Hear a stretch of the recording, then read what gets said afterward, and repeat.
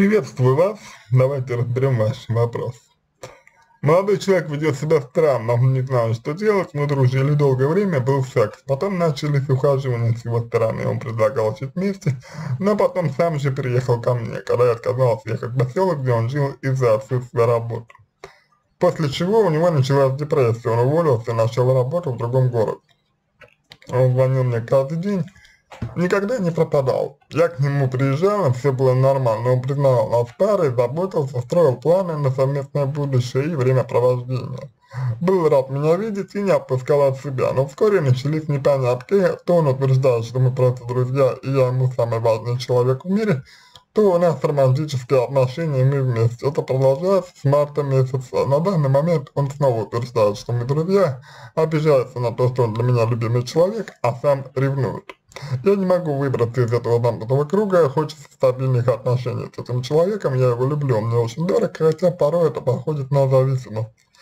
Я пробовала молчать, игнорировать его, но он всегда мне пишет сам и выходит на связь, говорит, что сейчас не хочет отношений, секса и остального. Говорит, что дело в нем, и он не хочет меня терять. Утверждает, что никого у него больше нет. Он может резко уйти в себя, начать игнорировать, а потом ведет себя, словно ничего и не случилось. Ну, первое, а, что хочется сказать, это то, что психологи не дают совет. Поэтому совет, совет, по крайней мере, от меня вы не получите в этом смысле. Именно совет. Но я могу дать вам некоторую обратную связь на то, что вы написали. А первое, что хочется сказать, это то, что речь идет о вашей тревожности, о недоверии себе, о страхе, вероятно, и и о попытке обрести контроль э, за счет, собственно, ну, за счет молодого человека, за счет другого. И, конечно, в этом смысле, в этом смысле, вы, на мой взгляд, обречены на провал. Потому что парадоксально, но когда человек, когда и чем больше человек э, хочет э, стабильности, когда человек хочет уверенности, когда человек хочет определенности, он такое ощущение сам делает все для того, чтобы у него, это, у него этого не было. Что я в данном случае имею в виду? Конечно, я имею в виду то, что вы, будучи, э, ну, испытывая потребность в стабильности, испытывая потребность в какой-то определенности, что лично мне кажется вполне адекватным, лично мне кажется это вполне нормальным, э, сами как будто бы э, видите в этом э, то, только возможность э, обрести, обрести данное состояние через другого человека.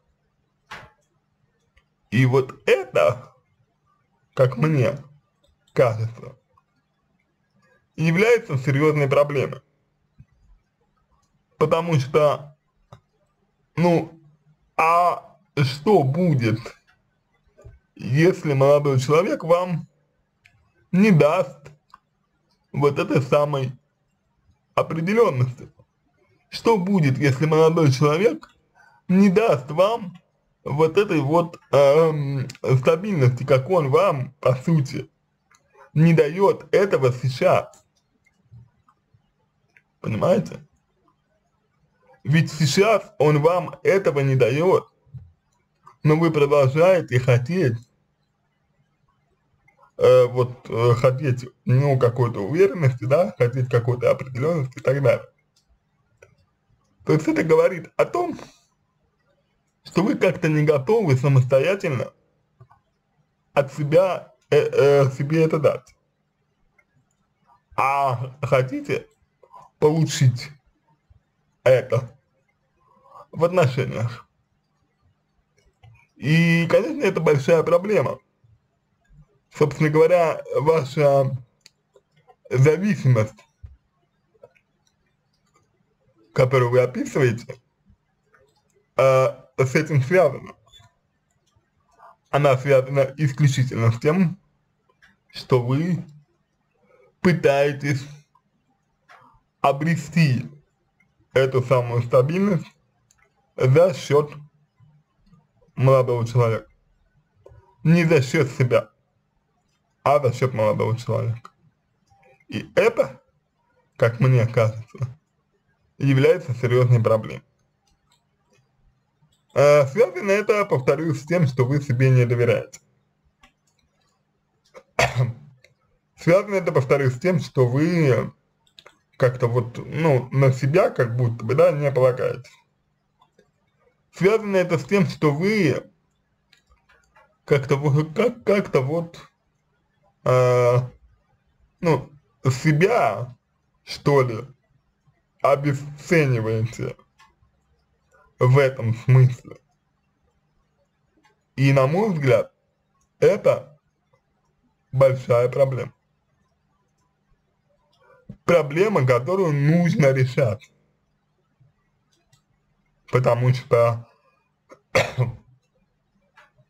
если ее не решить, то вы, то вы на самом деле риску, рискуете впасть в еще большую зависимость, чем сейчас. Но я не уверен в том, что вы этого хотите. Вообще, мне кажется, что если бы вы этого хотели, да, если бы вас это как-то устраивало, то а, вы бы, вероятно, и не обращались бы к нам за по помощью. Ну, в данном случае, получается, за советом. То есть, вот не обращались бы вы к нам за советом. Раз за советом вы обращаетесь, значит, понимаете, что самостоятельно как-то справиться не получается. Поэтому речь идет, на мой взгляд, исключительно о том, чтобы учиться полагаться на себя. Речь идет исключительно о том, чтобы опираться на себя. И э, самостоятельно принимать решения относительно своей жизни. Самостоятельно. А не, э, а не как бы посредством в данном случае эм, опоры на мужчину, который может сам, в принципе, и не знать, чего он хочет, который может, в принципе, сам не понимать, что ему нужно, который может, в принципе, сам эм, несмотря на то, что он говорит, да, эм, иметь, условно говоря, какую-то выгоду от того, э, как сейчас обстоят дела. То есть он может получать выгоду от того положения, в котором сейчас находится. К сожалению. То есть, да, это может быть, э, ну, это может быть неприятно. Я с вами здесь согласен. И, возможно, вы даже со мной не согласитесь в этом, скажете, что молодой человек не такой, что он, что ну, нужно ему другое, что он не э, пользуется ситуацией, а, условно говоря, сам от нее страдает. Я спорить с вами не буду. Просто именно совокупность этих факторов, факторов вашей тревожности, возможно, заниженной самооценки, возможно, страхов, и проблематики личной, личных границ, вся эта совокупность делает вас партнером в отношениях не столь э, явным, не столь ярким, не столь э, реализующимся, что ли. То есть в отношениях с э, другим человеком э, роль, вот именно роль, играет он в основном какую-то вот такую, знаете, роль, ну, э, роль, доминирующую роль, определяющую роль. Играет он, а не вы. И вот это, пожалуй, является э, самым неприятным в этой ситуации. Потому что получается так, получается так, как будто вы вот э, себя, по сути, да, ну, как-то вот э, очень, очень сильно обесцениваете. Вот. И на мой взгляд, по отношению к вам, это несправедливо. Я, конечно, понятное дело, не знаю всех деталей, вот, и может быть,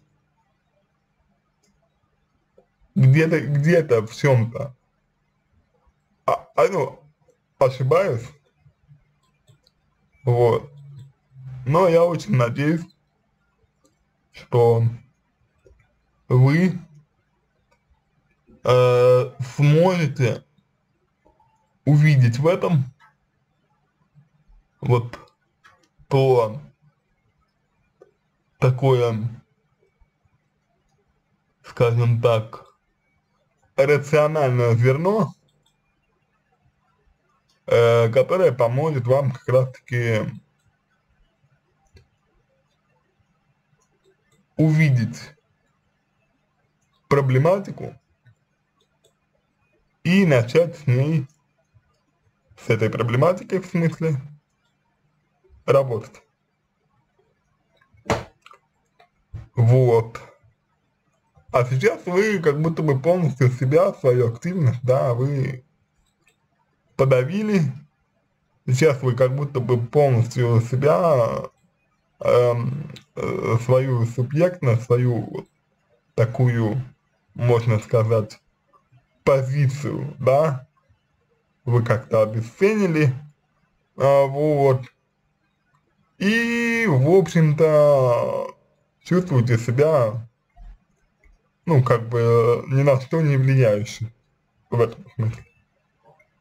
И да, это, это действительно правда, это действительно так, вы действительно э, на данный момент э, ни на что особенно не влияете, потому что всем управляет как бы в этом смысле молодой человек, да, молодой человек э, э, ну, указывает и показывает, как э, ваши отношения сейчас э, строятся, молодой человек показывает и указывает, как сейчас, сейчас э, ваши отношения выглядят, Вот, в этом смысле. И, конечно же, вам это не нравится. Ну, ну, само собой. А кому это, кому это понравится? Кому понравится, когда от тебя ничего не зависит?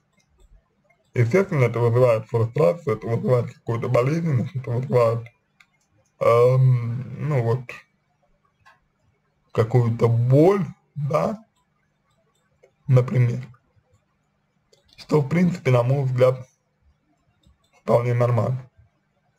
Вот. Но, честно говоря, честно говоря, я думаю, что и вы тоже получаете определенную выгоду, э, находясь в этом, э, ну, положении, вот, находясь в этом э, состоянии, вы тоже имеете какую-то выгоду для себя. Например, выгода такая, что вы не принимаете решения относительно своей жизни. Э, например, выгода такая, что вы ничего как бы не решаете от слова совсем. За вас как бы решает вот э, молодой человек. И если вам это не, э, если вам это не нравится, то изменить это можете только вы. Вместо этого вы пытаетесь э, как-то вот э, молодого человека понять. Вместо этого вы пытаетесь как-то, э, ну, вот, что называется, в нем разобраться. То есть, у, слов, условно говоря, вы э, такую мысль, такую мысль, э, ну, транслируете. Вы говорите, что э, молодой человек ведет себя странно, вы говорите, что молодой человек, э, значит, у него как-то вот, э, ну, 7, 7 пятниц, грубо говоря, на неделе, да, то есть э, сегодня одно, завтра другое, вот, вам это тяжело воспринимается, вами, вами это тяжело переживается, потому что, ну, как-то вот э, все так неопределенно, да, и так далее. Вот, и, возможно, это вызывает у вас определенные еще, ну, чувства негативные, такие, например, как ну, чувство вины, да, или там, э, может быть, страха, или, может быть, что-то еще. Вот, а, все это, конечно, не, не, не может, не может как, как-то вот не э, ну, подавлять. То есть вас это, э, скорее всего, подавляет. Ну, а, а делать-то что в итоге? Понимаете? А в итоге ничего, вы все оставляете просто как есть. Да, вы сейчас вроде бы обращаетесь за помощью, и вы в этом смысле э, молодец, большая, что вы действительно сделали первый шаг. Но дальше предполагается дальнейшее отстранение от мужчины. Дальше предполагается дальней, дальнейшее э, выстраивание личных границ с ним. Предполагается демонстрация и продвижение своей собственной позиции – который у вас есть. А это, в свою очередь, э, вступает в конфликт. По крайней мере, по вашему вот мнению, да, это э, вступает в конфликт с вашими э, чувствами, то есть вы можете сказать, что, ну, а как же, вот я его, я же его люблю, вот, вы, вы, вы можете сказать, я же как бы вот хочу быть с ним, например. И вот этот конфликт тоже необходимо разобрать. Где вы, где ваши, э, где ваши э, чувства к человеку, какие это чувства, какие, какая у них, ну, направленность, да, нацеленность, это с одной стороны. С другой стороны, а где в этом вы, то есть что из этого направлено на вас, что из этого э, вы хотите, ну, там, чи чисто вот, гип гипотетически, например, для себя, вот, то, что вы пытаетесь для себя, ну, получить в этом. Это тоже важно. Необходимо разграничивать. На этом все. Надеюсь, что помог вам. А, буду благодарен за обратную связь по моему ответу. Позвольте вам начать над собой работу. Желаю вам всего самого доброго.